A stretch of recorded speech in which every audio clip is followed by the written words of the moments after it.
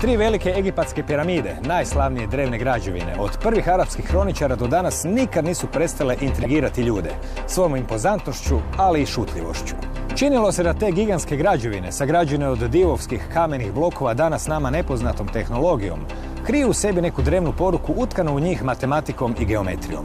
Puno je izračuna napravljeno pri otkrivanju raznih brojčanih odnosa koji piramide povezuju s promjerom zemlje, iracionalnim brojevima i tome slično. No prije inženjera Roberta Buvala, danas slavnog autora, nitko nije obratio pažnju na značaje rasporeda piramida. Ustanoviši da one predstavljaju odraz zvježđa Oriona na tlu, Robert Buval započeo je svoju avanturu kroz arheologiju i mitologiju, bivajući uvijek ovdje, na rubu znanosti.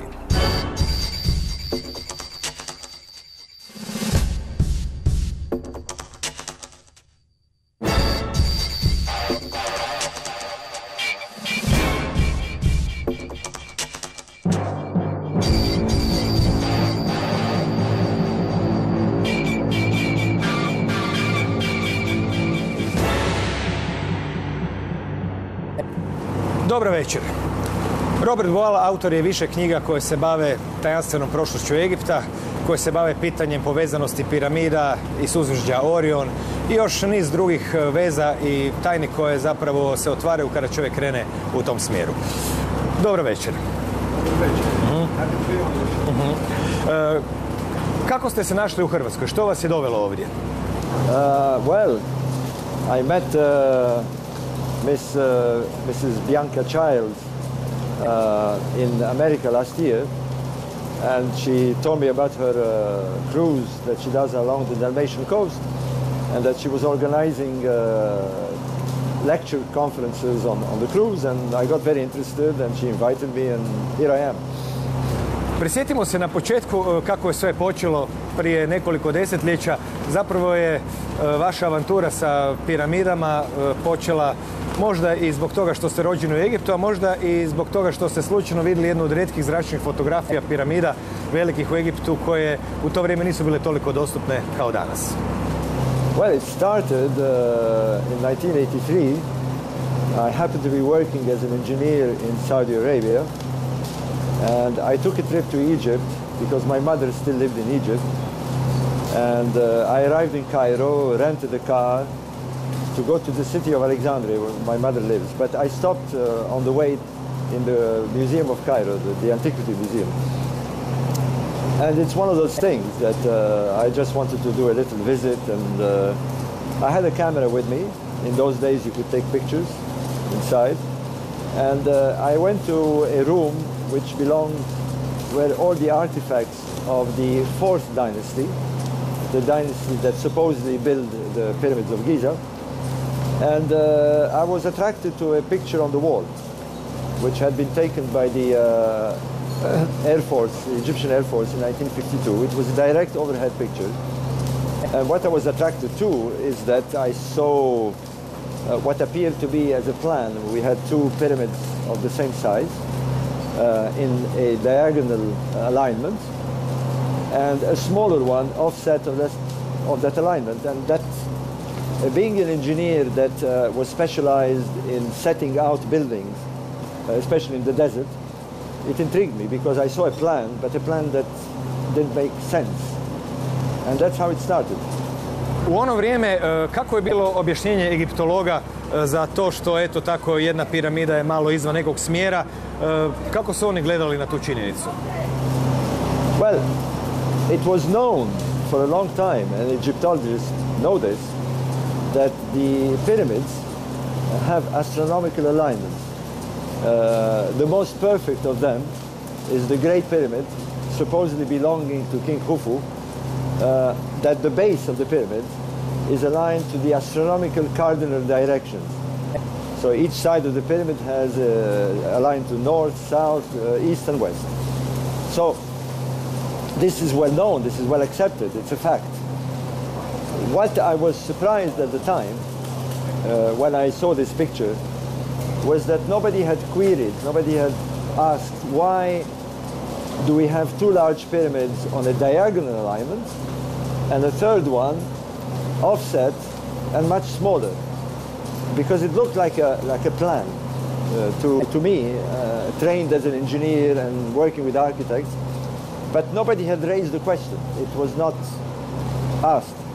Uh, and I was surprised because I wrote to many uh, Egyptologists at the time and nobody had asked the question. And that's how it begins really, is by asking a question. You know, why is this this way? Why does the apple fall? Why do the stars move? You know, so the question was this. And I decided I was going to investigate. Zanimljivo je uočiti da velike piramide izgrađene za vrijeme četvrte dinastije zapravo se dosta razlikuju od onih izgrađenih za vrijeme pete dinastije i to se također pokazuje jednim važnim putokazom u prošlost. Bilo bi dobro možda malo osvijetliti tu činjenicu u kojoj mjeri su zapravo velike piramide bitno drugačije od onih kasnije građenih. The uh, established chronology by Egyptologists is that Egyptian civilization began in 3000 BC or so, and that uh, pyramid building began at about 2600 BC. Uh, the first pyramid that appears is a step pyramid, which is a, the pyramid allocated to King Djoser, and followed by the fourth dynasty, the famous fourth dynasty that built these giant pyramids. There's a leap from step pyramids into smooth pyramids and of a much bigger scale. Uh, according to the chronology, the first fourth dynasty pyramids are built by King Sneferu, who is the father of King Cheops, Khufu.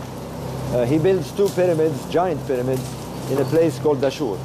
It's about eight uh, or nine kilometers from the Giza necropolis. Then we have the famous fourth dynasty pyramids of Giza.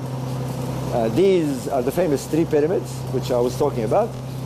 And these are very different from any other pyramids of other dynasties that follow.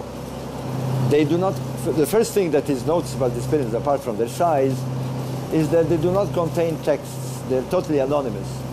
Hence the mystery of these pyramids.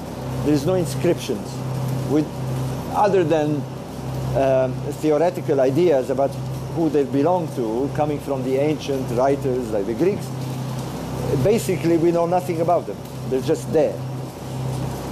However, the dynasties that follow, uh, the fifth and sixth and seventh uh, dynasties, uh, are, their, their pyramids are much smaller, of much poorer constructions. It's a bit like there's a regression rather than a progression in technology.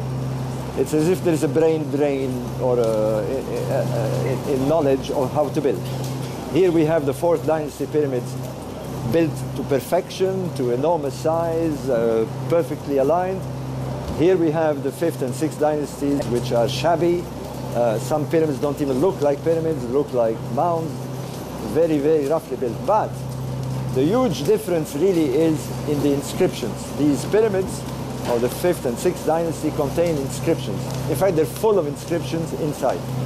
And these are known as the pyramid texts. So we have this large fourth dynasty pyramids, perfect construction with no inscriptions. They are mute, they don't speak. And those of the fifth dynasty, small, collapsed, badly constructed, but they speak. So the question is, do the fourth dynasty speak? And if they speak, in what language? What, what, how are we to read them? And this is where I come in.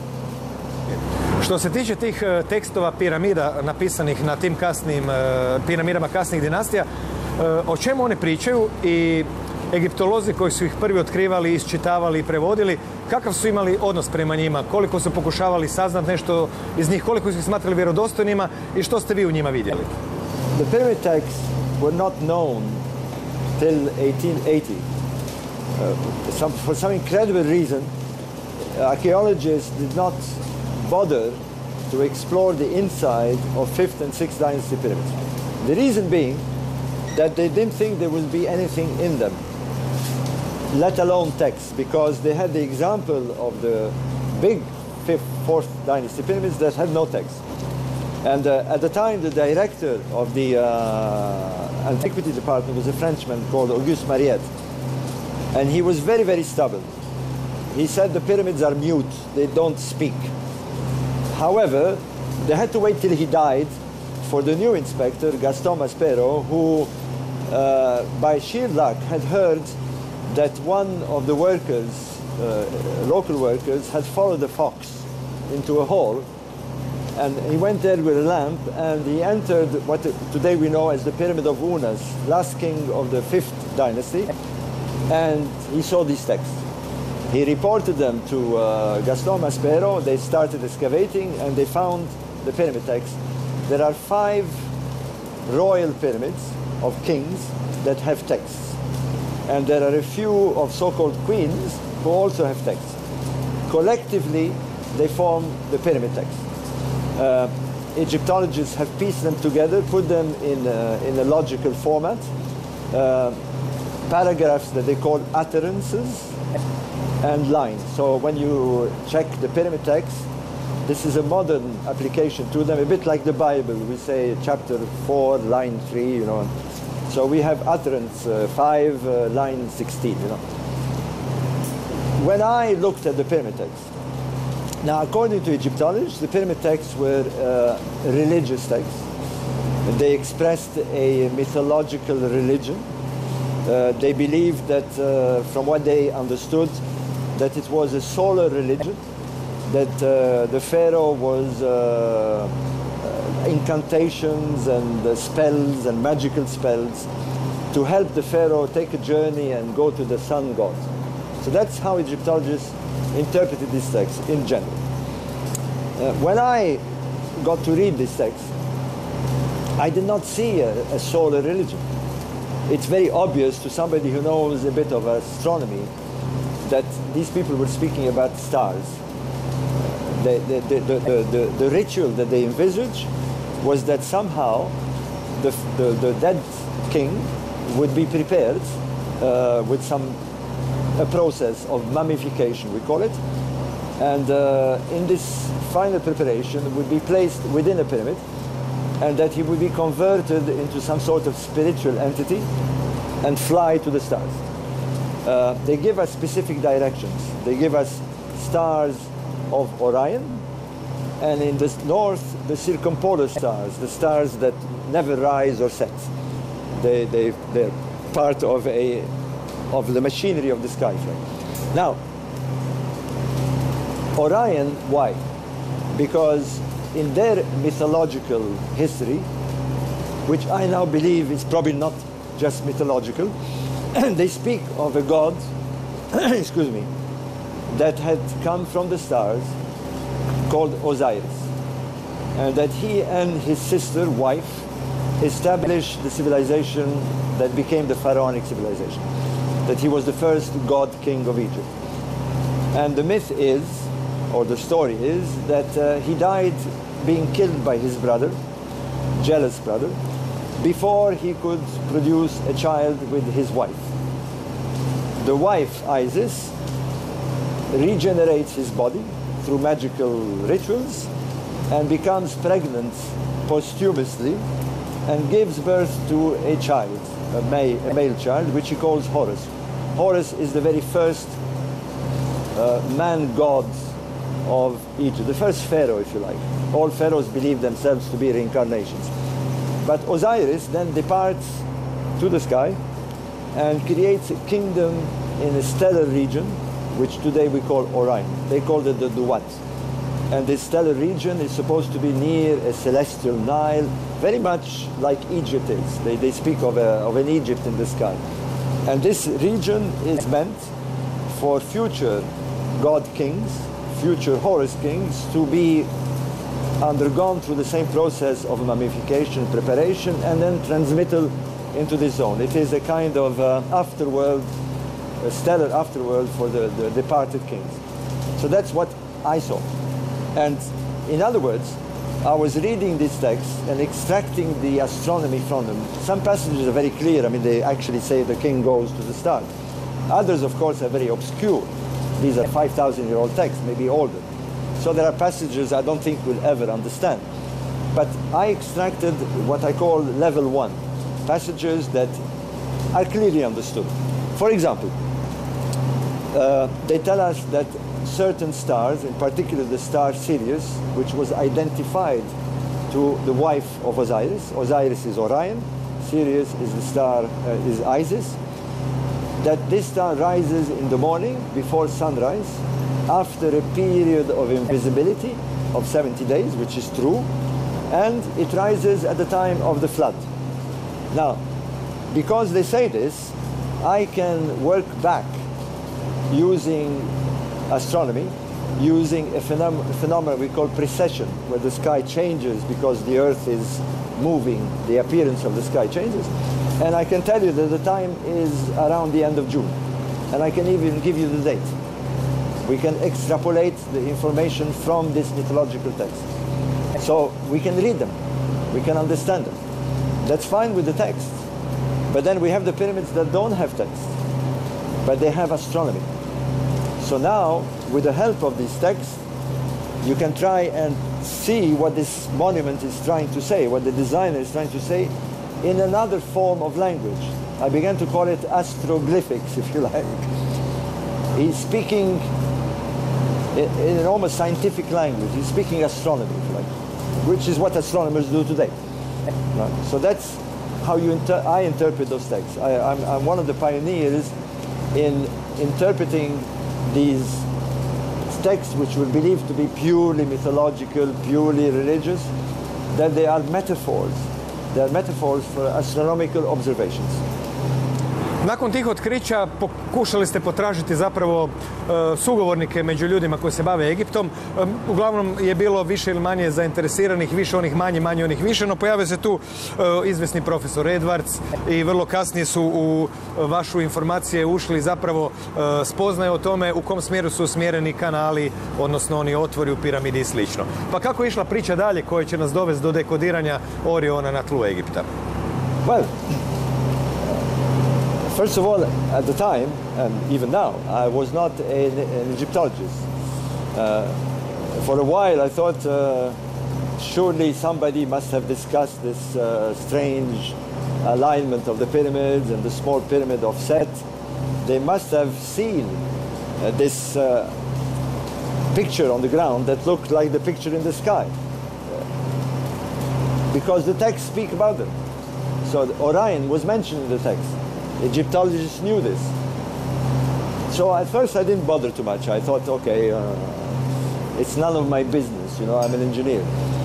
But then I began writing to Egyptologists, and uh, you're quite correct. I mean, they, uh, the reaction was rather strange. Uh, some were interested, but they said, uh, we don't think it's, it's an interesting idea, but, you know, it's, uh, we don't think you're right. Uh, others were even more uh, dismissing. They told me in so many words, mind your own business, you're not an Egyptologist, uh, you don't know what you're talking about. But finally, I contacted Sir Ivan Edwards, who was the, he died a few years ago, but he was the, the, the expert in the field of Egyptian uh, pyramids. He was the ex-curator of the British Museum, the Egyptological department. He's the authority. And he was interested he was interested. He was uh, he thought I'd make a very very convincing case, and he invited me to come and see him uh, when I had the chance. I was working in Saudi Arabia. What I didn't know at the time, surprisingly, I didn't have uh, facilities to libraries in Saudi Arabia. I couldn't get uh, articles. but what he informed me was that uh, the reason he was uh, interested in this is that there were shafts in the Great Pyramid that one of them, the shaft pointing south from the king's chamber, was directed to Orion's belt. And that was what I was saying on the ground, that the pyramids represented Orion's belt. So that to me was, uh, it, I felt no, it, it cannot be a coincidence. There's too much relationship here. So anyway, I went to see him. And we discussed it and I explained the theory. And uh, as all academics would tell you, well, publish it.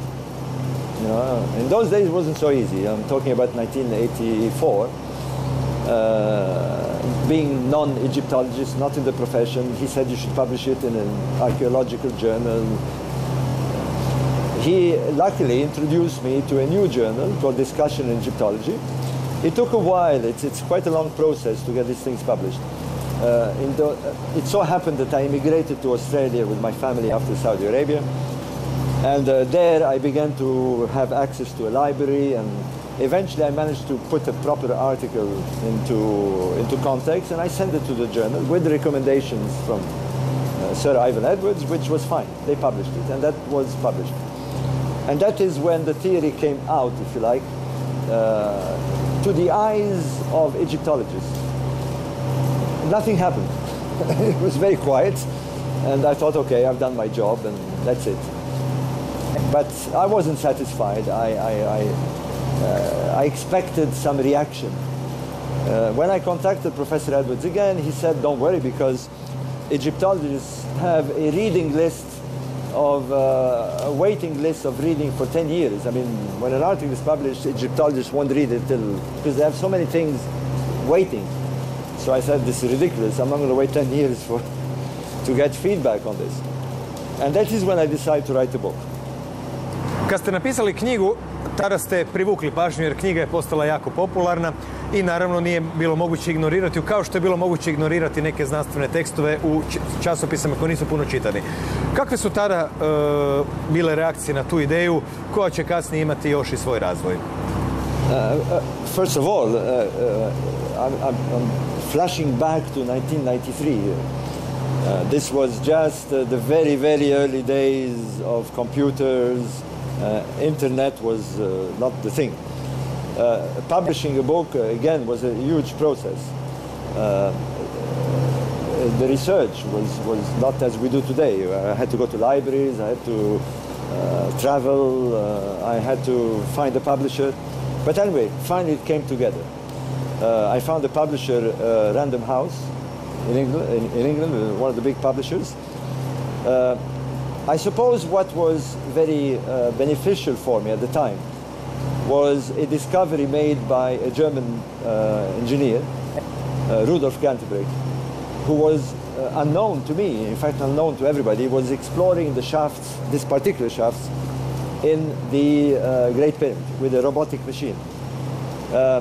It's a long story, but I was asked by Professor Edwards to go and find out what they were doing with a letter of recommendation from him. And I met Rudolf Gantenbrink uh, in March 1993. He was on the verge of making a discovery. He was exploring the shafts of the Queen's Chamber, the southern shaft, and we know that he eventually found a door at the end of the shaft. I was with him a week before. I was the man who had worked out the alignment of that shaft of the shaft of the Queen's chamber, pointing to Sirius. So of course, there was a correlation in our work. I was working the astronomy, he was working the mechanical exploration.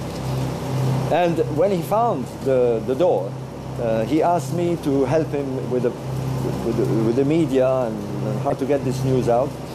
It got entangled. There was a lot of activity in the media. Uh, that, uh, in a sense, excited my publishers. Uh, the BBC contacted me. They wanted to do a documentary based on my theory, uh, which was fine.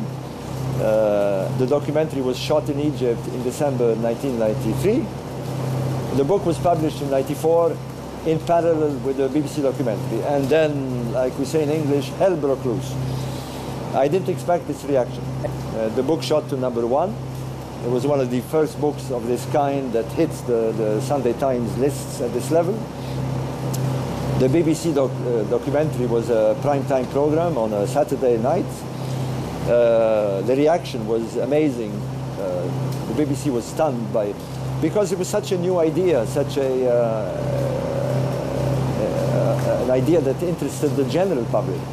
Nobody expected this. Uh, the Egyptologists were caught by surprise, and I remember the, the morning after the documentary. I, I mean people would stop in the street and say, you're the man with the pyramids and the stars. It, it got out of control. Uh, I was overwhelmed. What I didn't expect was the, uh, the, the, the, backlash that came from the academics. I thought it was a good thing. It's uh, a new idea, new research. Uh, the Egyptologists were very, very aggressive. They, uh, they, they simply uh, attacked it arbitrarily. There was reviews in newspapers, uh, chat shows, and basically they didn't like it. They didn't like it. They, did, they didn't think it could be uh, something that uh, the Egyptians could do. I had no problem with this. I mean, there's no problem looking at stars. Everybody can look at stars uh, and make a plan and build them. Of course, the construction is something else. But and uh, I, from that day on, uh, I have, and until now, I'm in, in, in, in, conflict with this academic establishment, which is a pity. Uh, astronomers have been very, very open to the idea. They see the logic. Particularly certain senior astronomers, they got a lot of support. Uh, I'm pleased to say that now, finally, uh, a university decided to pass this theory the way it should be passed to what they call a falsification test. All theories have to be tested this way until they can be proved to be either right or wrong.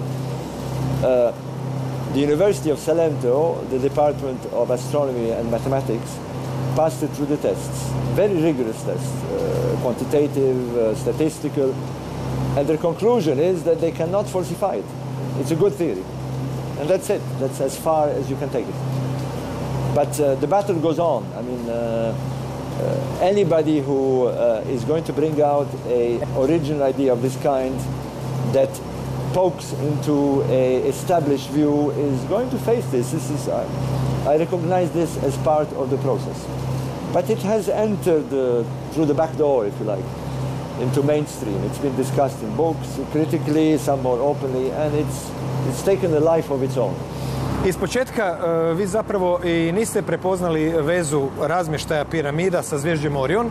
Prepoznali ste neke druge veze, ali ta veza je došla kasnije opet nekim nizom slučajnosti i sinkroniciteta. E, na koji način e, je došla do vas zapravo ideja da je ovo doslovce preslik sazvježđa Orion i također bi možda bilo dobro i neke druge astronomske aspekte reći koje su se tad pojavili zbog toga jer se precesija može vrtiti unatrag, pa su se pojavila neka druga sazvježđa lava i tako u priči.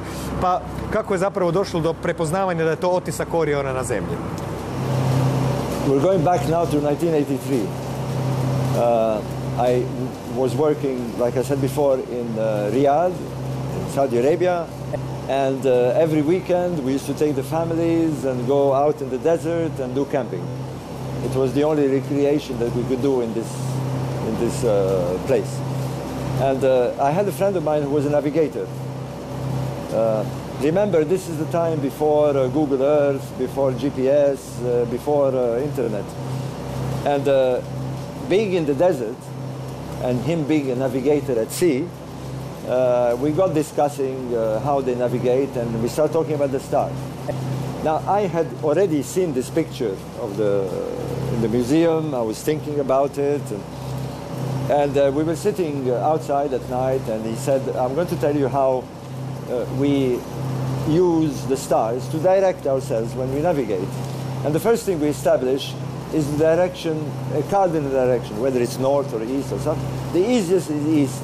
Why? Because the sun rises east. And, but at night, we will use the stars of Orion.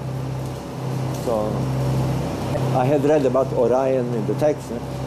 And he said the Orion belt rises due east. So if you see it rising, you know it's due east. And then you have a direction, and then uh, you can orientate yourself.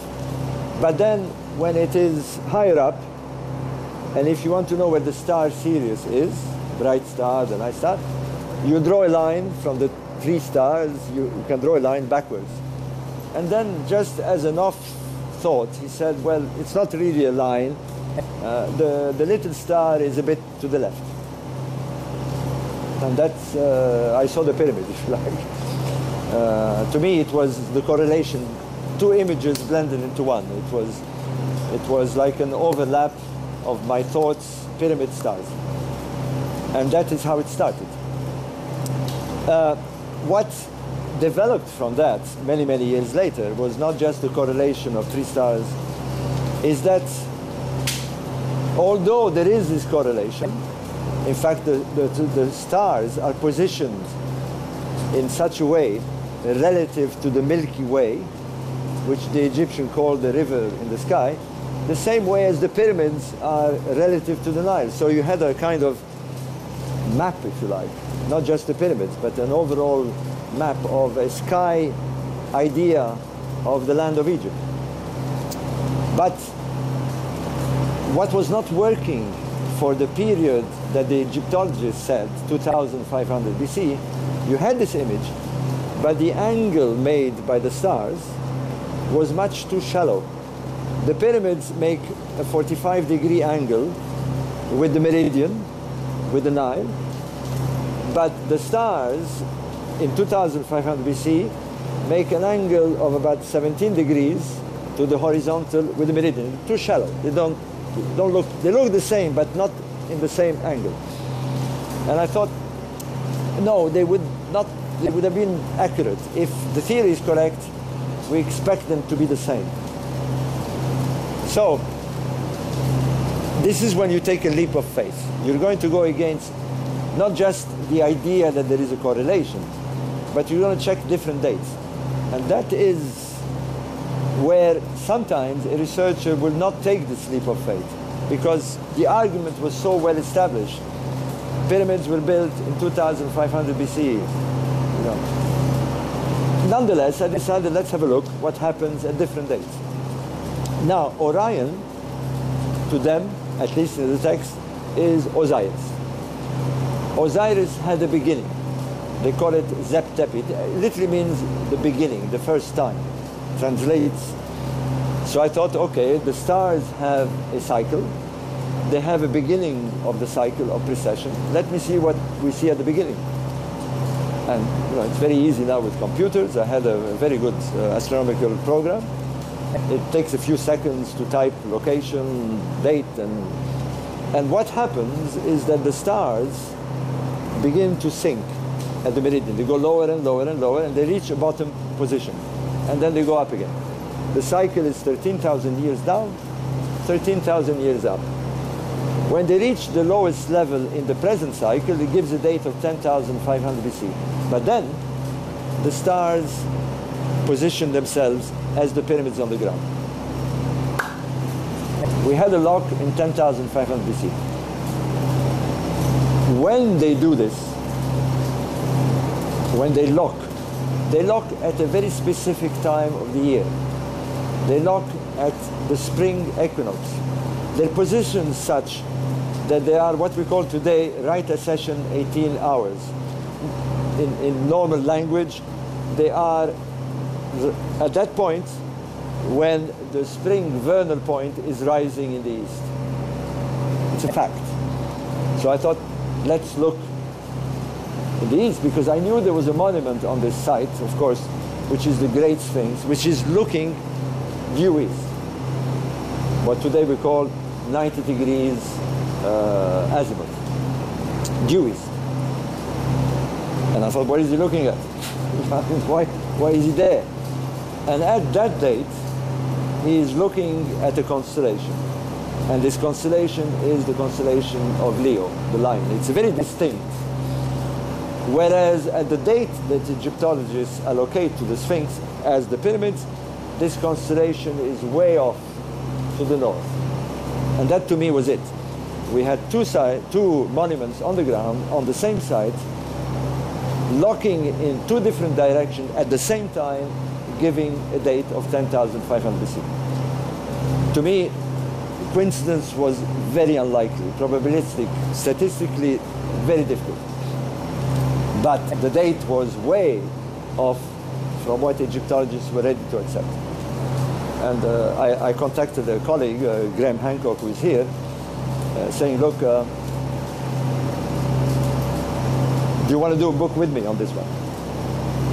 Because he had written a book uh, mentioning my theories, and that's how we decided to expose it to the public. It, we knew it was going to be very controversial, because not only Egyptologists were not accepting this correlation theory, but they were not going to accept that date. It pushed the whole thing back to 8,000 years before we established it, but we did. And uh, again, uh, the whole stuff started again, and but that's where it stands. The correlation theory is such that it forces us to consider an earlier date. Now, astronomy cannot confirm whether it's physically that old. They're speaking of the date. They draw it in a map, in a, in a, in a, in a stone map, if you like. Where it became very interesting is that while we were doing this correlation research, there was a group of people, uh, uh, a professor at Boston University, Dr. Robert Schoch, with a researcher, John West, an American, who were using geology. They had examined the Sphinx and they argued that the erosion on the Sphinx, and particularly on the wall in which the Sphinx is carved, the geology suggested strongly that the erosion was much, much older. And since the Sphinx had to be carved in this, it's, it's like a horseshoe pit, the, the, the walls were exposed during the, the excavation of, this, of, the, of the hole. Therefore, if the erosion was much, much older, then the Sphinx must be much, much older. And they come up with a date roughly of 5 to 7,000 BC. Now Dr. Schoch, I've written a book with him now, believes that it probably is much older, around the 11th millennium. So we now have two hard sciences. There is astronomy and there is geology. And these two together are arguing for an older site. It's very difficult for, um, uh, for Egyptologists to stomach this. But scientists are very open to this because we're talking science. We're talking, we're talking the only tools that we have to date sites if there is no other means. You can't date stone with carbon dating. It's, there is no process yet. Astronomy can if you know if there is an alignment and you know what they're aiming at. And geology, of course, can be datable. It's a dating tool. And these two sciences says this place is old. And the astronomy is very precise. This place is not old, only older, it seems to give that date of 10,500 BC. And that is very, very controversial.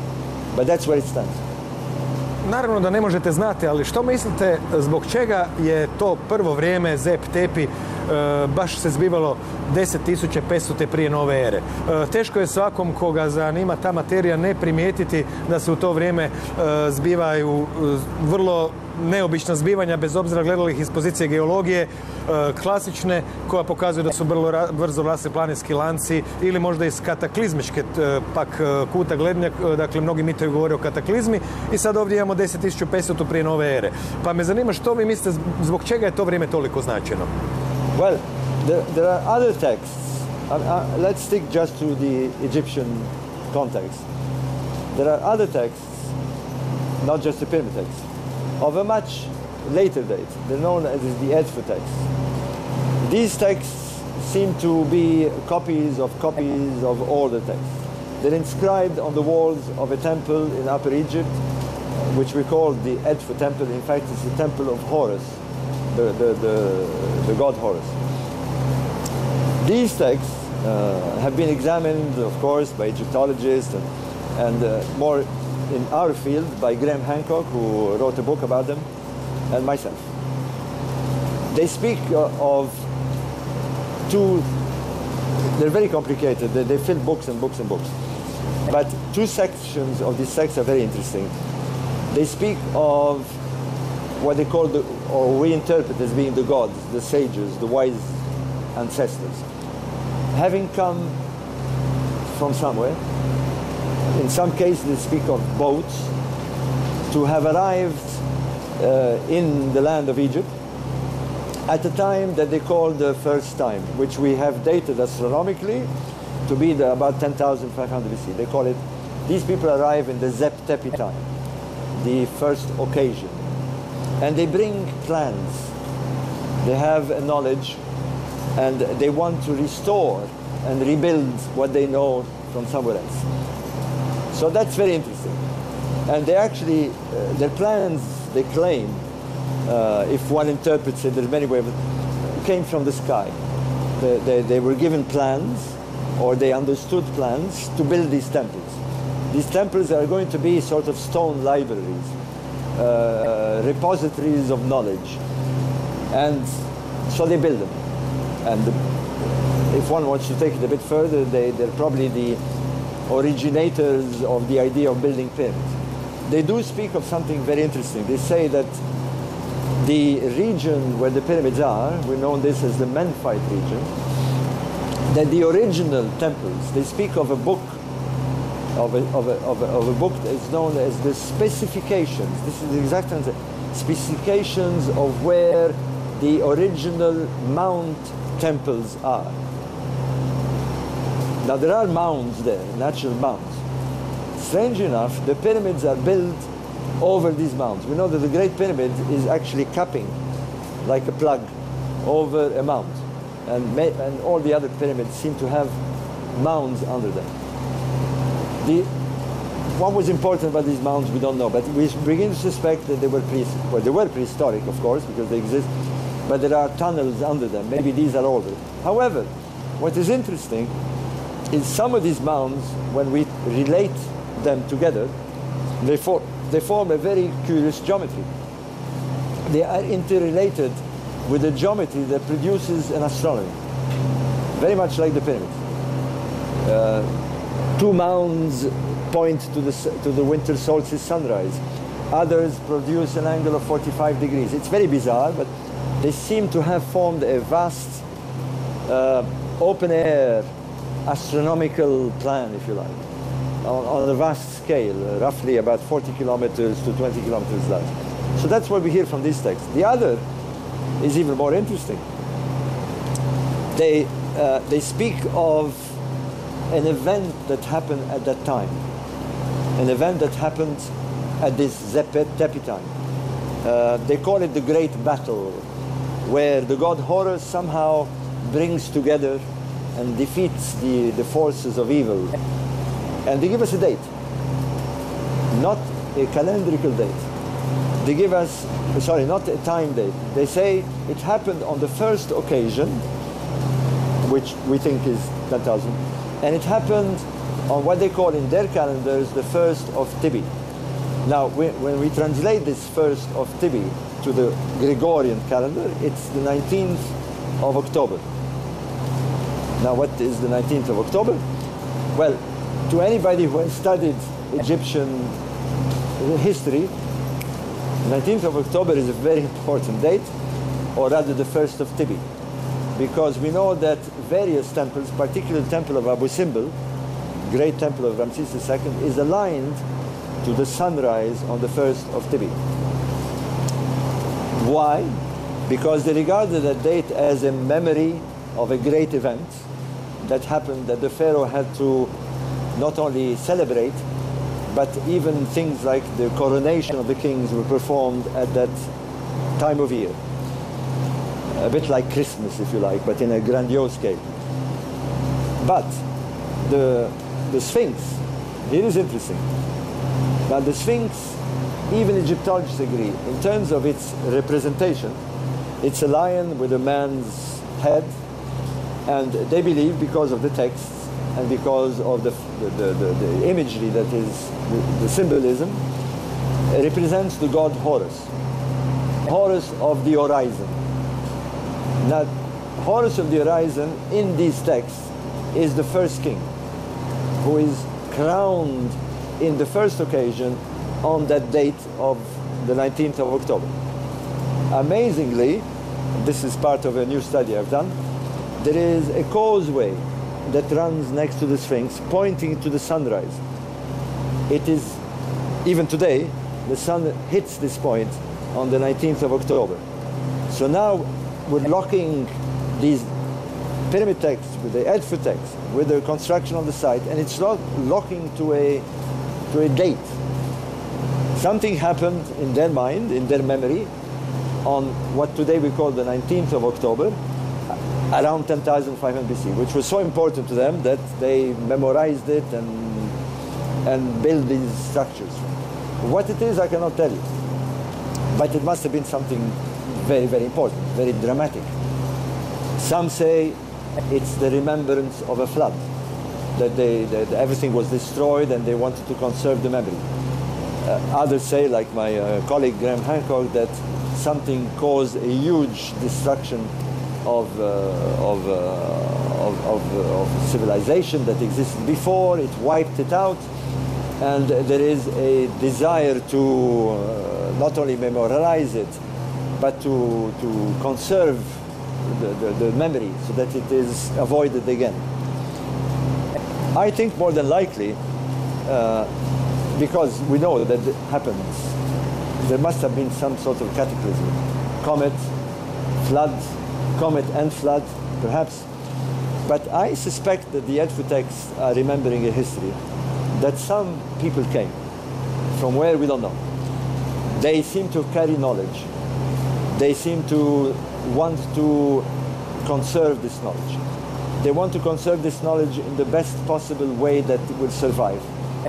Monuments, indestructible monuments. They seem to be speaking in terms of a language that will be understood by everybody everywhere. Mathematics and astronomy. The Great Pyramid seems to be, I know it sounds strange to say this, a sort of giant GPS. It's giving us a location on Earth, in the sky. It seems to be uh, giving us a, an alphabet to, uh, to make it speak. Because I could go on forever on this, but when we begin to analyze this monument in its geometry, it's producing very strange, exotic mathematics. It's producing uh, universal constants, uh, pi, phi, uh, Euler's number. It's pouring out, it's, there's many uh, at the moment because that's a very uh, embryonic study. We have many uh, mathematicians, astronomers, architects who now getting into it. It's a bit like cosmology. Suddenly we wake up, we realize that there are exoplanets, that there are other galaxies, and every day there is more news. Uh, the, the, astronomers every day publish. Uh, we found uh, new planets, we found new galaxies. The universe is bigger. It's pouring out once you make a breakthrough. Well, this is coming out of the pyramid. We realize that it's designed according to some geometrical plan that once you you, you, you, you, you click it, once you make it speak, it pours out information. What the information is about, we don't know. What we know is that whoever designed it intended it to be read, and intended to be read with astronomy and mathematics. There you are. So this is the, where we're reaching in 2017. It's the beginning of this, uh, this motion. Još jedno pitanje za kraj. Uh, postoje ljudi koji smatruju da je znanje u suvremeni krug civilizacije doneseno od neke predpotopne civilizacije što podrazumijeva kataklizmu. Postoje autori koji pišu o ljudima koji su došli iz svemira ili bićima i tako dalje. Zanimljivo je u tom kontekstu pogledati tu strast prema Orionu i kraljevima koji se žele vratiti na Orion. Jeste li kad razmišljali e, ako je moguće da su neki donositelji civilizacije došli iz svemira, da su možda baš došli iz Oriona ili ste ili ipak bi to bila samo astronomska lokacija? Well, the simple answer is yes. And the reason is that uh, hardly a few years ago, I would not have answered your question. I did not speak about such things. But uh, I, have, I happen to be very lucky to have a, uh, as friend and now as co-author a, one of the most prominent uh, astrobiologists uh, living. Astrobiology is a very, very recent science. It's now uh, very popular. There are many astrobiologists, but it was founded by uh, two uh, Cambridge researchers, Sir Fred Hoyle in the 19, late 60s, and uh, Chandra Wickramasinghe. Chandra Wickramasinghe is of uh, Sri Lankan origins who came to settle in England and got his PhD at uh, Cambridge University and has excuse me, professor of, of astrophysics, uh, uh, astronomy, but eventually founded the, the first astrobiological, excuse me, laboratory in Cardiff University. So he's the, he's the man. And I've known him for many, many years. And he has always been interested in the question you've asked. Because what astronomers know today is that uh, Well, let's put it as simply as possible. Uh, I'm quoting a phrase from Carl Sagan, uh, the American cosmologist who died, unfortunately, uh, a few years ago. He said, we are star stuff. You, me, the cameras, the chair, uh, the boat, uh, the whole planet, everything that's on it is made of star material, star stuff. Why? Because now we know, science has taken us to the point that, let me go through a very quick process. Um, we go to the Big Bang, the, the, the singularity. That's what we understand from cosmologists and astrophysicists and so forth. That something happened 14 and a half billion years ago where energy uh, somehow created matter or particles of matter. The first particles are the subatomic particles. We had the protons, the neutrons, and the electrons, and the quarks, floating about, whizzing uh, all over the place. Uh, I'll cut it short. Uh, half a billion years later, the four forces of, of nature. That's how the whole world is held together. Very, very delicately with the strong nuclear force, the weak nuclear force, the gravitational force, and the electromagnetic force. The weakest of these forces are gravity. It's the last one that brought things together. First, the strong nuclear forces pulled these particles together, formed nuclei of atoms, attracted the electrons that created elements. The first elements, helium and hydrogen, floating about. Gravity puts them together, forms a com compaction that forms stars, forms galaxies. I'm moving very fast, of course, here. And then stars begin to grow. Are so gravitational force is such in some of the stars. The heat is so intense. These helium and hydrogen simple elements begin to compact, form the heavy elements, iron, calcium, sulfur, and so forth. And eventually the star explodes. A supernova is formed, it spews out its heavy elements. They get caught by dust, form comets, shoot around and hit a planet. They seed the planets with the heavy elements. That's the panspermia theory that was presented in the 70s. Now it's widely accepted. We came from somewhere and somehow life, non-life became life. We even now begin to think that they carried even perhaps a much older evolution that might have contained our DNA. If so, then we are star beings, if you like. Uh, we're, we're recycled star beings on a different planet.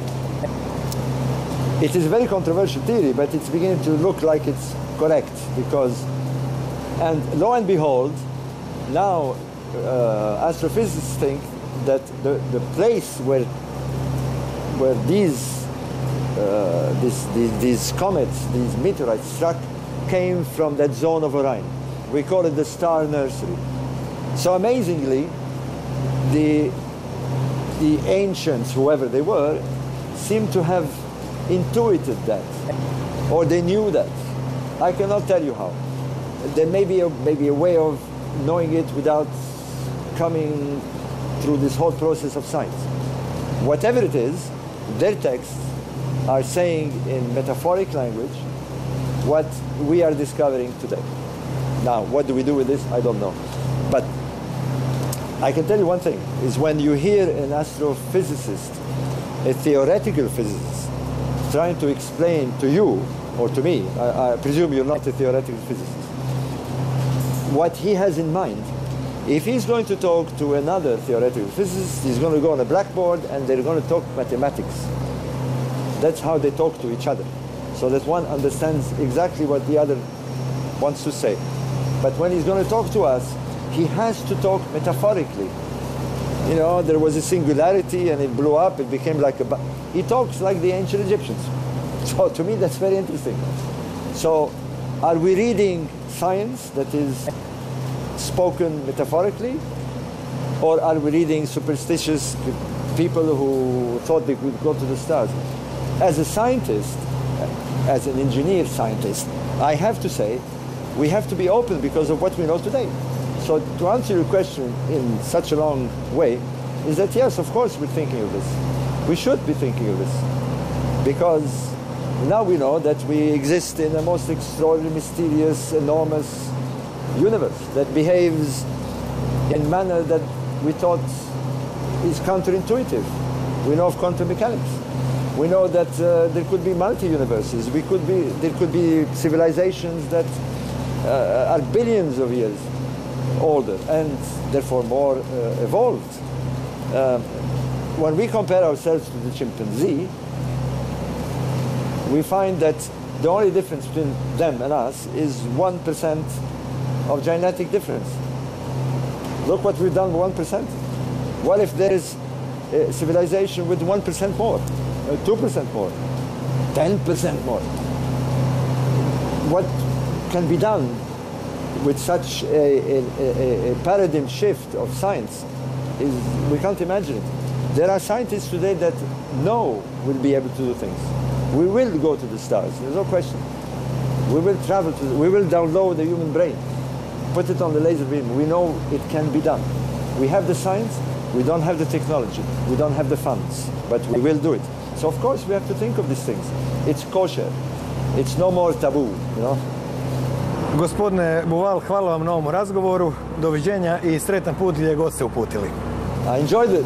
I have to congratulate you because you you did your homework. Usually I don't have people who did their homework so well. You know what to ask. Um, I'm enjoying this trip uh, in Croatia. I have to admit that I don't think I would have come had I not been invited. Uh, it wasn't in my mind, but I discovered a wonderful country, really. Um, very nice people. It's a pleasure. Okay.